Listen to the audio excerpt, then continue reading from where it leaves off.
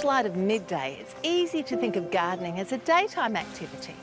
But plants don't put down tools when we do. With careful planning, it's easy to bring your garden to life at night, adding extra dimensions for nocturnal pollinators and night owls like me, so we can enjoy the garden day in, day out. Plants pollinated by butterflies and bees are at their brightest and most fragrant during the day because that's when these pollinators are most active. But not all plants are pollinated by bees and butterflies. Some are pollinated by nocturnal creatures like moths, bats and beetles. And these plants have to look and smell their best in the dark. Stephanotis, or the Madagascan jasmine, is a wonderful evergreen climber. It produces bunches of perfumed white flowers and it has glossy green foliage. Now, traditionally, it was used in wedding bouquets and it is reputed to have the best perfume of any climber. It's cold and frost tender, and even in Adelaide, it does best in a protected position with a wall to give it radiant heat. But up here in the frosty hills, I definitely have to keep it undercover in the polyhouse. Stephanotis is related to Hoya and it's non-toxic to pets. So if you don't have a frost-free warm position outside, you could even try it inside as a valuable addition to your indoor plants.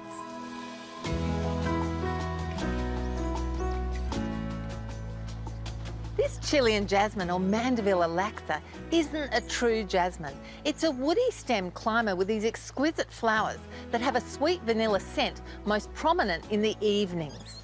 Unlike other mandevillas, which are subtropical plants, this one's actually cold tolerant and it will even grow in the frosty Adelaide Hills. In my cold climate, it's deciduous, but in a milder climate, it's semi-evergreen. It has these fresh green leaves and beautiful creamy white flowers with a deliciously sweet scent. Growing in amongst the Chilean jasmine is Chinese star jasmine. Again, it's not a true jasmine, but these two white-scented climbers certainly pack a fragrant punch by my front door. Chinese star jasmine is such a versatile climber. It can be grown over a topiary frame, on a trellis, even as a ground cover. And if you've got enough light, it can even be grown inside.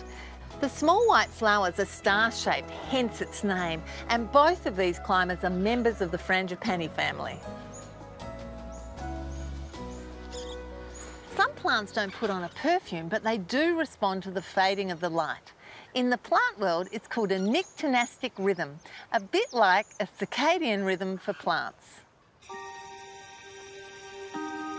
Typically, night flowering plants have white flowers, and that's no accident.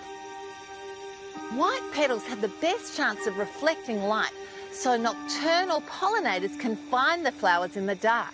And insects that don't see that well in the dark can be attracted by fragrance. And it's not just ornamentals that are in the night scene. Productive plants like my New Guinea bean or cucuzza are also night scented. It's in the bottle gourd family and it produces these long fruits with a flesh that's white, similar to a cross between zucchini and cucumber. Large white flowers open at night and emit a sweet fragrance to attract its nighttime pollinator. It's a hawk moth. So this plant not only looks and smells good, it tastes good too. Because plants like gardenias attract nighttime pollinators and they rely on a fragrance to get their attention, a chemical change must occur. When the temperature drops in the evening, it triggers volatile compounds in the petals of the flower to become highly concentrated, and that means that the flower becomes more fragrant. I'm going to show you how to take advantage of these night-scented treasures by creating your own pot full of night-scented plants. You'll need a large pot with good drainage holes and good quality potting soil.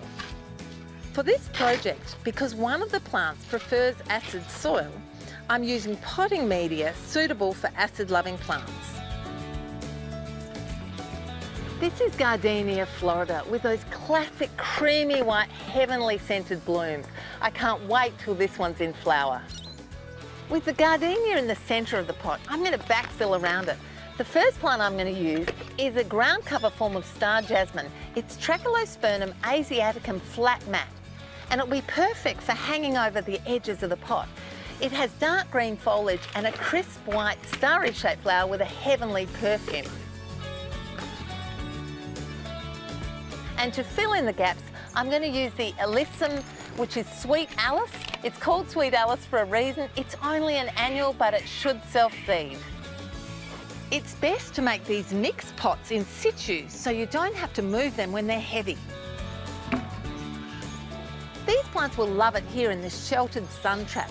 But as the weather starts to get cool and we head towards winter, I'm going to move the whole pot down to my poly house because gardenias are frost tender. Gardens aren't just for early birds. Gardens can be actively enjoyed by bright night owls as well.